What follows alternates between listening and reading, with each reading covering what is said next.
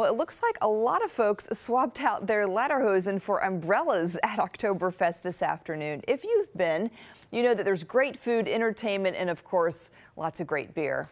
The event is in Germantown, and we ran across Stephen Vire. He is a local farmer from Rockvale who comes every year with canned vegetables. We can't control the weather, so it comes with the territory. When you're doing outside shows, you got to be ready for it. This is the first year Oktoberfest is three days instead of just one.